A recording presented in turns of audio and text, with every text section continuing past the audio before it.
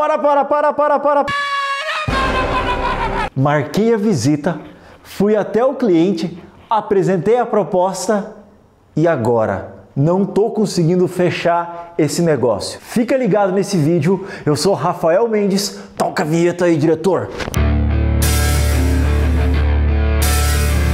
Ok, pessoal. Um dia eu escutei uma frase que dizia o seguinte: que vendedor é um dos únicos profissionais que faz todo o trabalho antes para depois receber o seu dinheiro.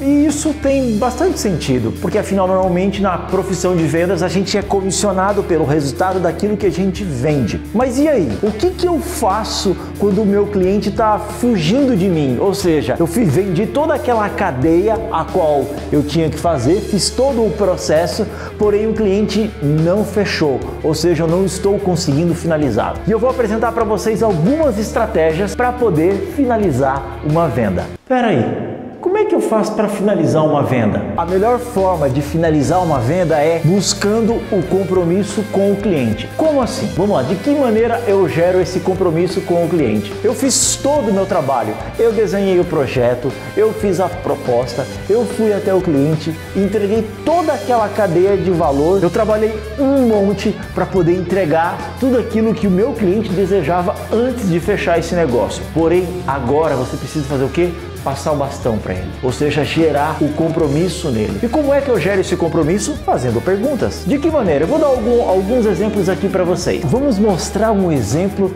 de como eu posso fazer perguntas que gerem compromisso no meu cliente. Exemplo 1. Olá, seu Joaquim, como é que o senhor está?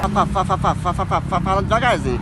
Seu Joaquim, é o seguinte, eu tô ligando pro senhor para saber sobre a minha proposta. Eu queria entender se ela te atende, se é aquilo realmente que o senhor necessita, porque a gente já desenhou muito bem esse projeto. E aí, seu Joaquim, podemos fechar? O seu Joaquim vai fazer a seguinte resposta para mim: Olha, Rafael, eu, eu preciso de mais tempo para pensar. E agora, como é que eu faço para gerar compromisso do lado do seu Joaquim? Eu faço uma pergunta, por exemplo, seu Joaquim, então eu apresentei tudo para o senhor, já fiz, é, é, apresentei essa cadeia de valor para o senhor, o senhor entendeu aquilo que a gente tem para te oferecer. O senhor gostaria de pensar sobre o quê? Percebe como o fato de eu fazer a pergunta, pensar sobre o que eu estou passando compromisso para ele? E aí o seu Joaquim vai pensar nessa resposta. A segunda pergunta, por exemplo, estou ligando para o seu Joaquim e o seu Joaquim me diz assim: Ah, Rafael, faz o seguinte, é, é, gostei de tudo que você me mostrou, vi bastante valor em tudo que você me mostrou. Você poderia me enviar uma apresentação,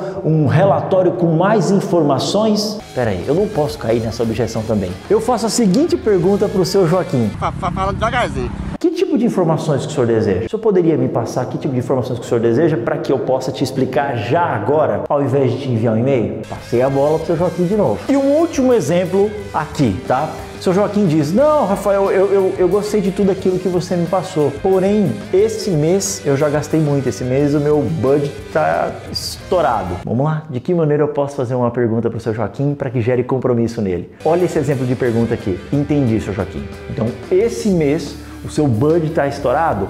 Legal. O que, que o senhor acha de fazer o seguinte? Vamos parcelar.